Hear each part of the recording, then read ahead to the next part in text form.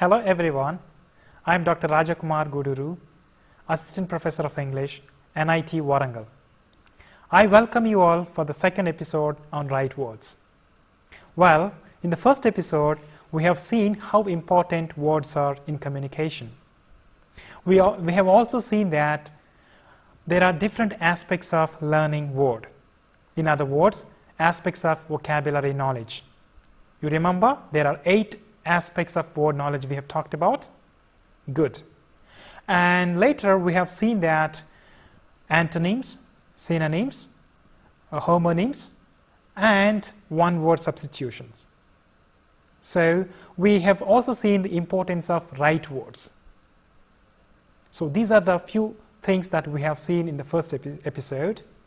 And in the next episode, or in this episode, we are going to look at some of the techniques or strategies of learning new words. And then we also look into the some of the ways and means of learning new words. And later, we will also look into some how to use a dictionary well in learning new words. And later, we will look into some of the examples or assignments. Okay? With more examples, we will do some of the activities to brush up our knowledge and to gain perfection in learning antonyms, synonyms, or homonyms, and one word substitutions. Well, let's look into some of the guidelines for learning to use words correctly. In order to improve our ability to choose words, uh, to choose the best words and most effective words, whether we are communicating orally or in writing, we should keep in mind the following. First one is purchase a good dictionary.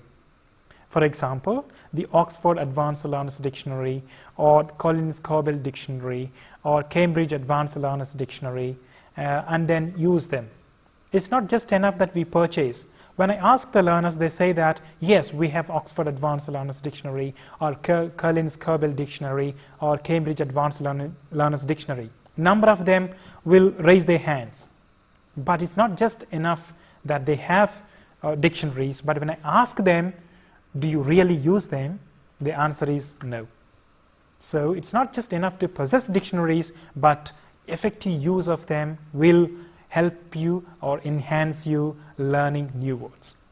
Keep that in mind. And the second thing is purchase a book of synonyms and antonyms. Very important. Uh, such as Roget's uh, International Thesaurus, uh, and then use it. It's a very well-known book. Okay, you may buy it if you want to.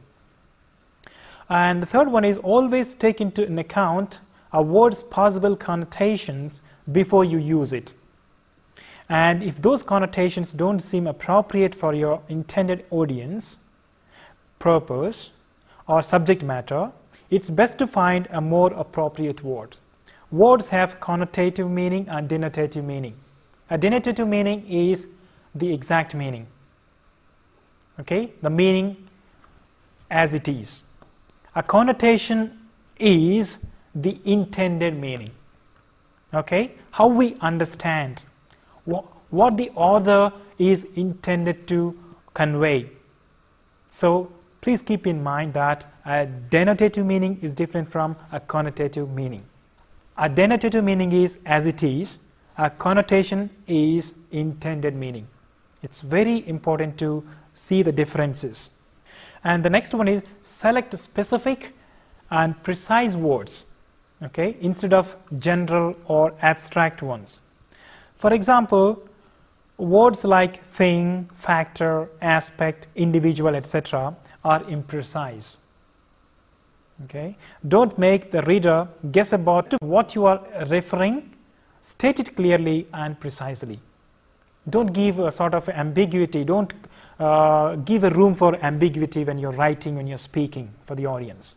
Audience shouldn't think that, oh, it's very general, we are not able to get the intended meaning. When we, view, when we use a precise word, then it's very, uh, very easy for the audience to understand and grasp the meaning. Okay?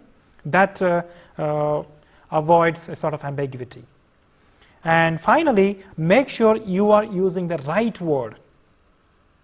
Okay, uh, not one that's similar in spelling but means something else entirely. For instance, don't say detract if you mean distract. Detract means lessen or reduce.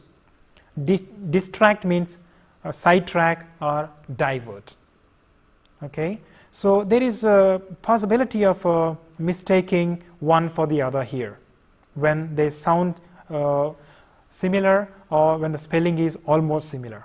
Therefore, we have to be very careful when we use these sort of uh, uh, words because the meaning can go wrong.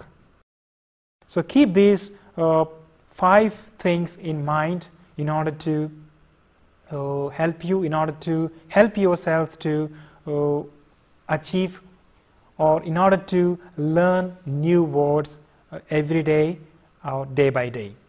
Okay, that will really help you.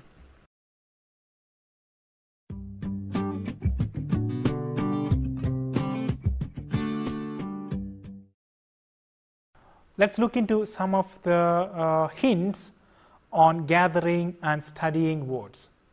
Okay, it's a very uh, important session. I want you to pay attention to this. We are talking about different levels of stages in the first episode. Do you remember? Research proves that there are different levels of vocabulary for different levels of learners at different stages. So, firstly, at elementary stages, it is quite important for one to choose which words one is going to study. Okay? The focus is very important. Which words? And if one, one tries to learn too many words, it is easy to forget them soon or get confused with them. So, one should not be over ambitious uh, when learning words. The thinking that just put the dictionary before him and then uh, reading it from, uh, from the beginning to the end. It's too, let's not be too ambitious when it comes to learning words. Okay? Uh, it only uh, confuses us and then we soon forget them. We end up that way. Uh, it would be better to limit the number of words to 5 to 6, 5 or 6 and learn them thoroughly Then try to learn 15 to 20 words at one go. That is the ideal way of learning. First, you target, just start with the 5 to 6 words, learn them completely, and then if you still want to learn more, maybe maximum 15 to 20. So you have to pitch it at that level. The target must be these many words. You complete that, then you go into another set of words. Otherwise, you forget them or you will get confused. There is no point in, in learning that way and uh, it is good to employ certain techniques while studying new words effectively. Okay? Studying words means employing new ways of techniques, new ways and new techniques. It's very, very crucial. The following technique suggested by Lewis et al. 2004, how one records or remembers the new words, encounters new words. Okay? Lewis suggests some of the techniques uh, to record and remember new words. Let's look into them. Well, there are a few ways to record new words. What are they? Number one is word plus translation. Some learners uh, easily remember that uh, uh, immediately when he looks at a new word, immediately he translates into his mother tongue. And then he remembers it for long. So that's one way of doing it. And some learners remember word plus picture. It's very effective uh, means of, it's a very effective technique. Some learners, when they look, when they encounter a new word, immediately they visualize and then they, they picturize. They imagine a picture and then they associate a picture with the word and then they don't forget it. And the next to another uh, technique is like word plus spelling. Some learners are very good at spelling, therefore, they try to associate words meaning with spelling and they remember. And other techniques like word plus an example sentence, immediately when you find a new word, some learners make, they know the meaning and then immediately write a, they use this particular word in a new sentence and they remember it. Another technique is that word plus definition in English. Immediately they look at the word they refer to dictionary and they learn the definition and they remember it. And word plus pronunciation. Some people find it uh, very strange or some people find it very, very interesting pronunciation of a uh, new word that they have encountered. And therefore, when they recall later that the meaning of the particular word and they try to associate its meaning with the pronunciation, the strange pronunciation or an odd pronunciation or sort of interesting pronunciation and they try to recall the meaning. And another way of uh, recording a new word is that word plus opposite or synonym. Immediately when he looks at a word, he uh, tries to uh, think about or think of an opposite word or a synonym or an antonym or a synonym immediately. So, he tries to associate this way and therefore, he remembers it for a long time. And the next technique is word plus the text it came from. The text it came from. Word plus the text it came from. Immediately when the learner encounters uh, in a particular story or in a particular paragraph in an interesting uh, uh, context, immediately he goes back to that context and tries to recall the meaning of the word when he encounters the same word uh, uh, the next time. So these are the some ways uh, to recall new words.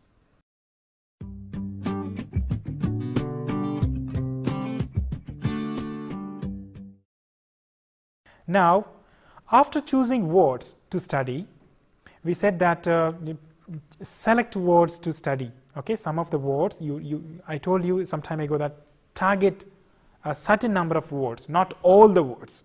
Okay, once we select certain number of words to learn them, okay. Now, what bothers most of the learners, most of the second language learners, is that uh, the question how to study them. How should we study them? This is the question which mostly bothers the second language learners. There are plenty ways to study words. Some of them are active and some of them are very passive. Okay. Now, let us look into 16 ways of studying new words. Okay. Let us uh, look into some of the 16 ways of studying new words. Shall we look into them one by one? Okay. Well, the first one is underlining or highlighting words in a text. When, uh, when we are reading an interesting story or a text, you know, when you encounter a, a new word, what some people do is immediately they highlight it.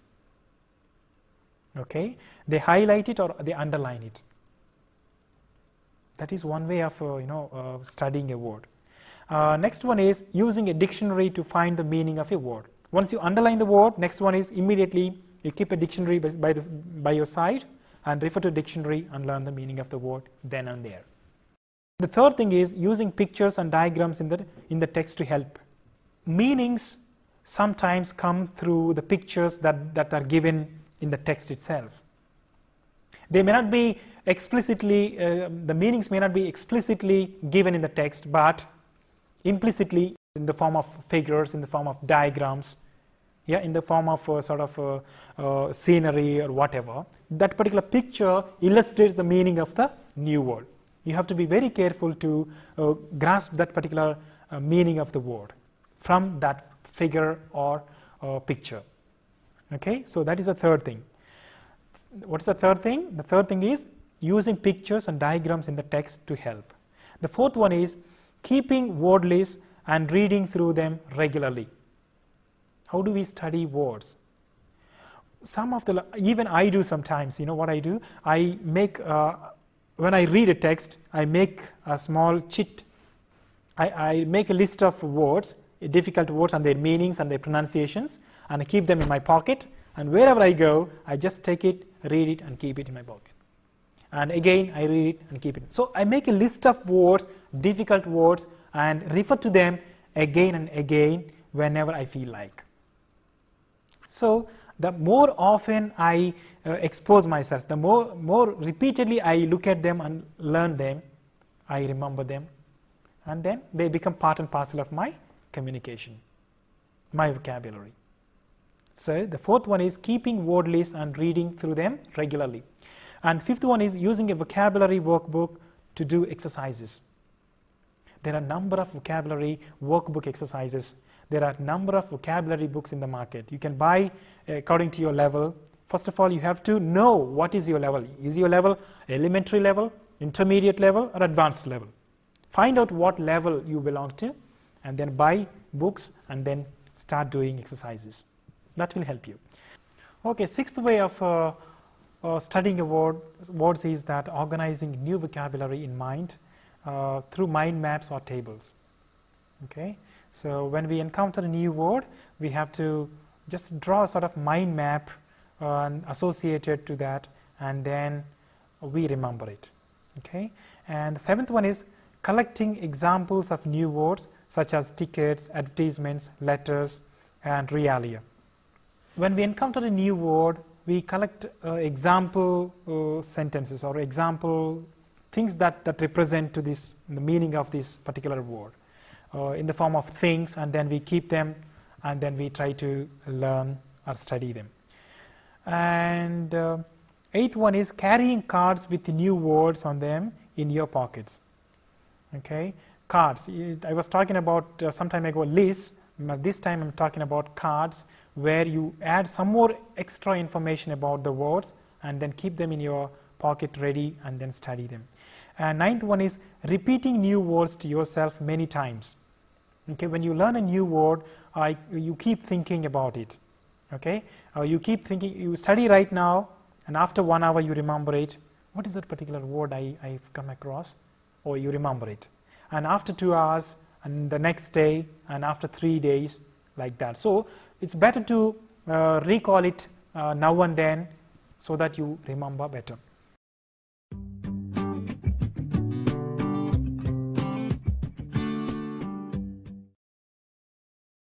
The tenth way of studying a word is learning a poem or a song with new vocabulary in it.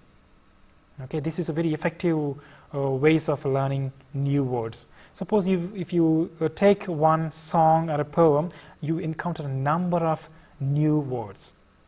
Okay, you come across a number of new words in it, and then it's very easy for us because they all at one place. Okay, you can pick and choose what words, what are the that particular words you want to learn. Okay, the words that interest you in that poem. So you can always uh, sing the song, uh, learn, uh, uh, learn to recite the poem. In the process, you uh, a number of times, repeatedly, you come across these words and then try to remember the meaning. And the next one is labeling items with their names in English. For example, uh, in the kitchen, it's a wonderful example. When I visited my friend's kitchen, he has labeled uh, uh, certain items or certain kitchen ingredients with, uh, with, a, with a tag. Okay, so I could learn, I had a chance to, I had an opportunity to learn some of the ingredients, which I never knew before. So like that, suppose we don't know some of the ingredients, some of the names of items. So just you find the name of the item, just label it. So whenever you go into the kitchen, you have an opportunity to uh, learn that particular item, so you won't forget it. Okay, uh, that's one way of learning. Next one is asking someone to explain a word to you. Suppose you are traveling and you are reading on the newspaper, uh, you come across a new word, immediately the next to you there is a person or your friend you can ask him what what what what, what does he think about the what, what he could um, tell you or what he could suggest you the meaning of the word so that's one way of asking friends there's nothing wrong in asking them uh, the next one is asking a, a, friend to test you okay you could uh, inform him that you are studying a number of words and after a week or so you can uh, ask him to test you on this particular on these particular words or this set of words. Uh, you can conduct a small test and then you can um, test yourself. Okay, that's one way of uh, studying words.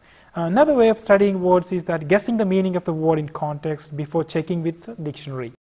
Some of us are very good at you know immediately uh, going into the dictionary. That's not a good idea. When we come across a new word, what we're supposed to do is we're supposed to guess the meaning of the word first we, we should try to guess the meaning of the word from the context. We should be aware of the context and within the context we will be able to understand. If we think about it, if we make our own guesses, even if we don't get the exact meaning, somewhere we will reach the, the similar meaning you know, we could come up with. Therefore, the good thing is that uh, immediately when you encounter a new word, try to guess the meaning of the word. If you still not happy with it, then you can refer to the dictionary. Okay, and the next one is writing paragraphs using new vocabulary. You have learned a few, a couple of words some time ago, and then using that, try to compose a small poem or a, a, write a short paragraph uh, or uh, write your own experience or a picnic.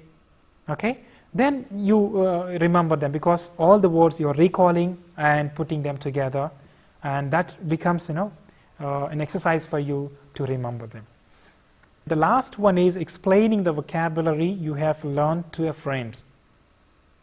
You have learned a couple of words today and then you can just uh, ask, test your friend or you can explain to them if you cannot answer, if he cannot, if he doesn't know the meaning of those words. In that way, you, you have an opportunity to recall the meanings of the word and we know that when you teach somebody, you will learn best keep these other these ways in mind, these ways of, uh, of studying words in mind, and try to incorporate, try to practice them day by day. You may not uh, practice, you may not uh, want to try out all these uh, techniques right away, but pick and choose interesting ways to study words that will uh, really help you, and uh, you can you can achieve learning words very very quickly. And the next important thing is uh, few hints on using dictionaries. Let's look into some of the hints or some of the suggestions about using dictionaries.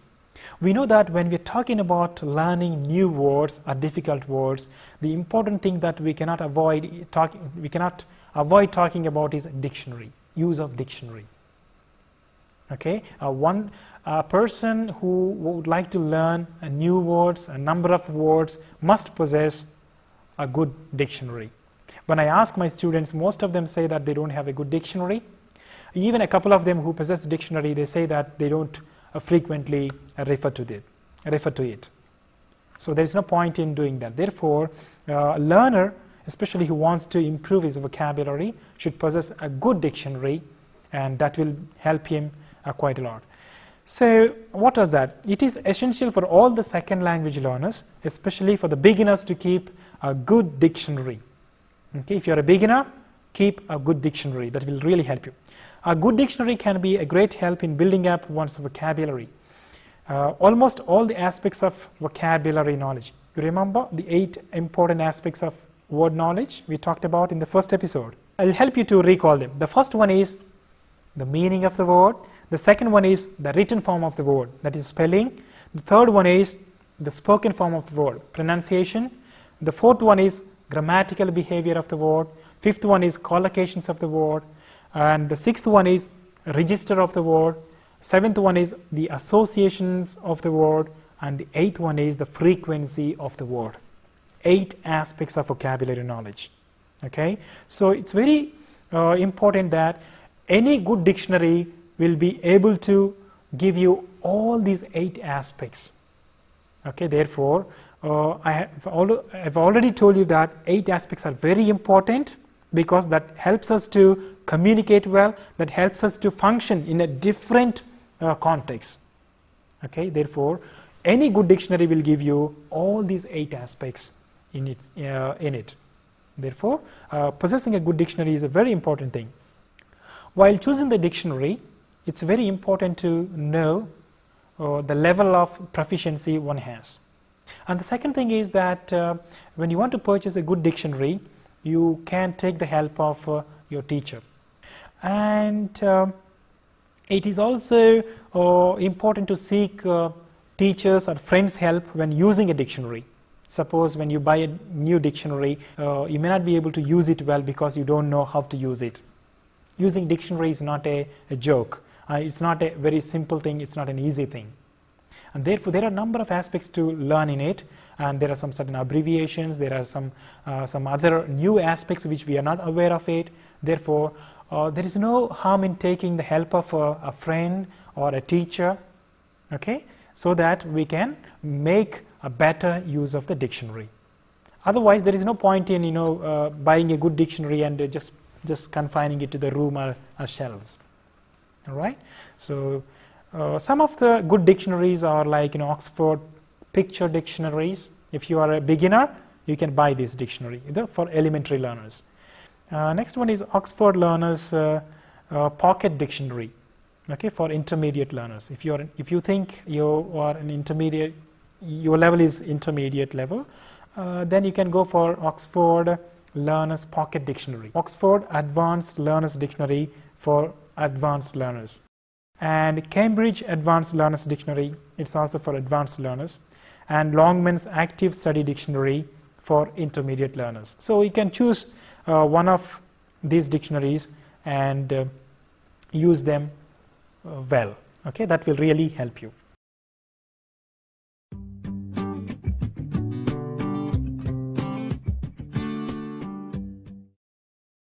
Finally, I would like to suggest you that uh, by using specific and concrete words, okay, uh, we can greatly improve our ability uh, to communicate effectively.